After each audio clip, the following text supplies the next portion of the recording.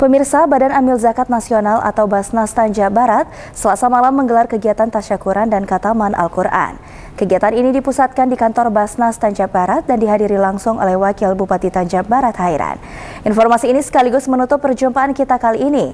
Pemirsa, saat ini Jack TV sudah beralih ke siaran digital dan Jack TV dapat dinikmati menggunakan televisi lama dengan menambahkan set-top box. Berita Jack TV juga dapat diakses melalui kanal YouTube resmi Jack TV.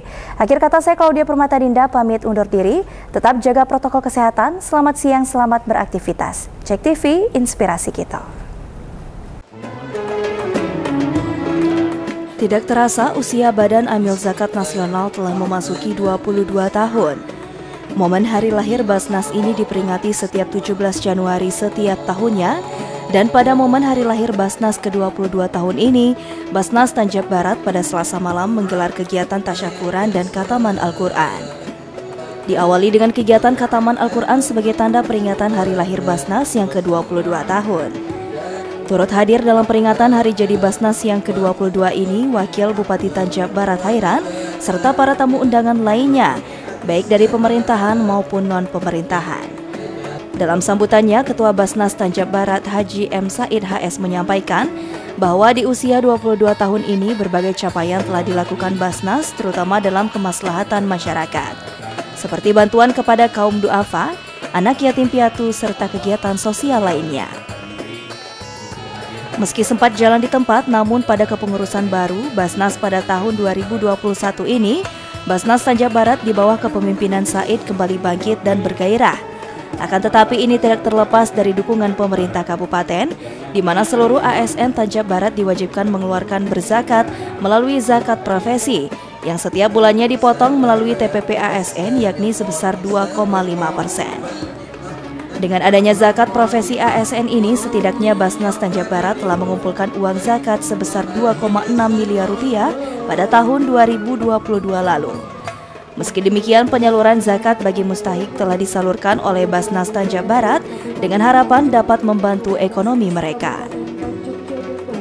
Program yang terintegrasi dari Basnas Pusat, Provinsi dan Basnas Kabupaten Kota se-Indonesia dan dalam rangka menyemarakkan HUT Basnas ke-22 tahun 2023 serta sebagai rasa syukur atas upaya Basnas menjadi lembaga utama pengelola zakat secara nasional hingga memasuki usia menginjak ke usia 22 tahun. Sementara dalam sambutannya, Wakil Bupati Tanjab Barat Hairan menyampaikan, gebrakan yang dilakukan Basnas Tanjab Barat saat ini cukup luar biasa terutama dalam penyaluran zakat bagi kaum mustahik. Ia berharap di tahun 2023 ini Basnas lebih maju dan berkembang lagi, terutama pada usia 22 tahun ini. Semoga target kita di 4 miliar tahun ini bisa tercapai.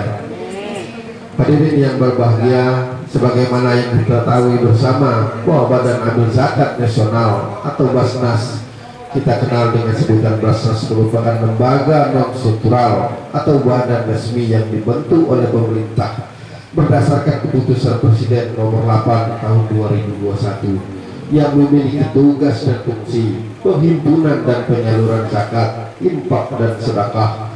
Lahirnya Undang-Undang Nomor 23 tahun 2011 tentang pengolahan zakat semakin mengukuhkan peran Basnas sebagai lembaga yang berwenang melakukan pengolahan zakat secara nasional. Di akhir acara, Basnas Tanjab Barat juga turut menyalurkan bantuan kepada 10 orang anak yatim piatu secara simbolis, berupa beasiswa sebanyak 9 orang untuk menuntut ilmu di perguruan Al-Kairo, Mesir. Surya Kurniawan, Jack TV, melaporkan.